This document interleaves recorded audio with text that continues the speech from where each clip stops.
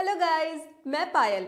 Welcome to DND news हर एक दिन की नई खबरें पाने के लिए इस चैनल को सब्सक्राइब ज़रूर कीजिए और साथ ही साथ बेल आइकन को भी दबा दीजिए।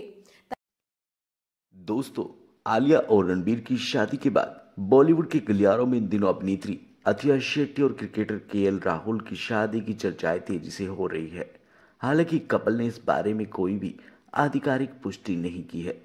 अतिया शेट्टी और के राहुल लंबे समय से एक दूसरे को डेट कर रहे हैं और फ़िलहाल फैंस दोनों को जल्द से जल्द शादी करते हुए देखना चाहते हैं।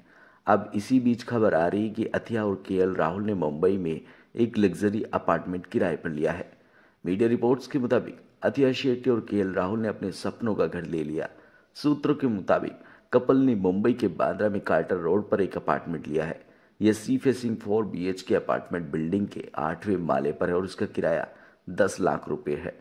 अतिया और राहुल काफ़ी लंबे समय से एक दूसरे को डेट कर रहे हैं और अक्सर सोशल मीडिया पर अपनी तस्वीरें और वीडियो भी शेयर कर एक दूसरे को प्यार जताते रहते हैं। फैंस को भी दोनों की केमिस्ट्री खूब पसंद आती है। खबरों की माने तो दोनों की मुलाकात एक कॉमन फ्रेंड के ज़रिए हुई थी और यहीं से दोनों की मुलाकात शुरू हुई। बाद में दोनों को एक साथ स्पोर्ट किया जाने लगा और दोनों सोशल मीडिया पर भी एक दूसरे के लिए पोस्ट करने लगे। फ़िलहाल कपल ने कुछ समय बाद अपने रिश्ते को ऑफिशियल कर दिया था। हाल ही में राहुल के तीसरे जन्मदिन पर अथिया ने उनके साथ अपनी तस्वीरें शेयर की थी और पोस्ट के ज़रिए उन्हें जन्मदिन की शुभकामनाएँ दी थी। तो वहीं के राहुल ने भी बहुत प्यार से रिप्लाई देते हुए लव यू लिखा था।